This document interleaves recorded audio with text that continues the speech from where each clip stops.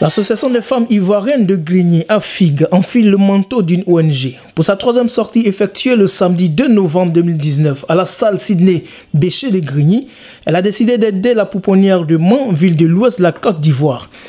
Pour une pouponnière créée en 1947 et taillée pour accueillir 100 enfants de 0 à 2 ans, n'en prend qu'une dizaine, faute de moyens. Il fallait qu'on fasse cette édition pour venir en aide aux enfants de la pouponnière de Mans qui ont besoin de nous, qui ont besoin qu'on leur apporte du baume au cœur, la joie de vivre, des jouets, des habits, tout ce qu'un enfant a besoin. Parce qu'en Europe, les enfants ont tout. Mais par contre, chez nous, vraiment, c'est pas facile. Et ces enfants sont remis aux parents à un âge vraiment très bas qui est de 1 an et demi à 2 ans.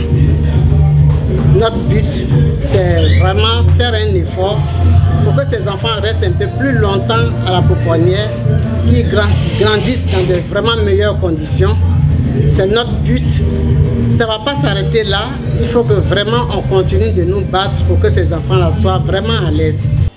Pour ce troisième rendez-vous, la figue a tout prévu. Sécurité, réception, gastronomie, stand de vêtements et de vivres ivoiriens.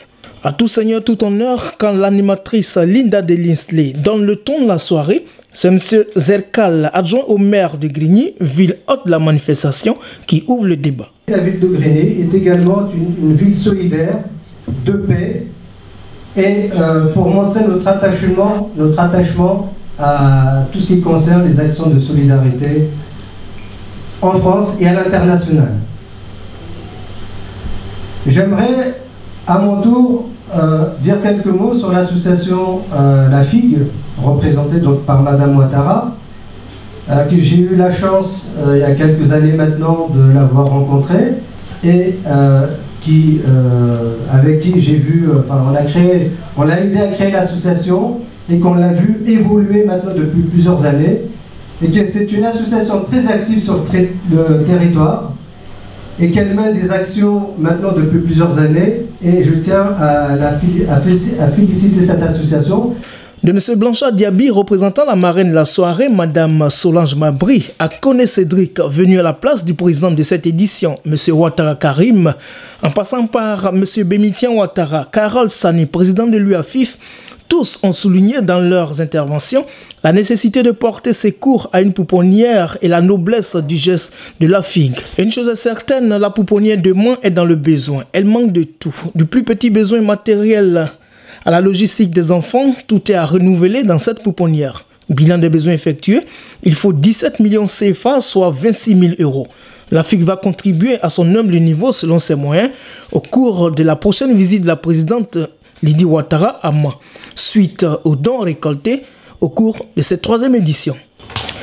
Et voici ce qu'en pensent les principaux participants. Je prends donc devant lui, devant la présidente, devant mon frère Koné, devant ma soeur, devant tout le monde, l'engagement d'être toujours à vos côtés. L'engagement de vous donner. Parce qu'aujourd'hui, j'aime qu'on joigne l'acte à la parole. Le jour où vous serez en Côte d'Ivoire, où vous serez prêt à offrir des dons à la pouponnière de Mans, venez me voir et je vous donnerai un bon d'un million cinq cent mille francs CFA. Rénover l'orphelinat de Mans.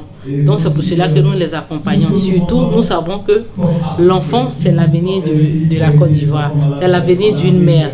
Donc euh, elles ont décidé d'offrir à l'orphelinat de Mans la rénovation et faire sourire les enfants ivoiriens à Mans. Donc c'est pour cela que lui a fait aujourd'hui ce soir à leur côté pour solliciter le don à tous les Ivoiriens, tous les Ivoiriennes qui vivent en France et partout en Côte d'Ivoire. Ben, aujourd'hui nous sommes là pour accompagner euh, les femmes de Grigny parce que euh, nous avons été euh, mandatés par Madame Mabry Solange pour la représenter ce soir parce qu'elle trouve que l'action, le projet des, femmes de Grigny est noble et donc c'est accompagné. La cérémonie a débuté par la musique avec Saïzo. Elle a fini de la même manière avec Savanala. Rendez-vous est pris pour la quatrième édition.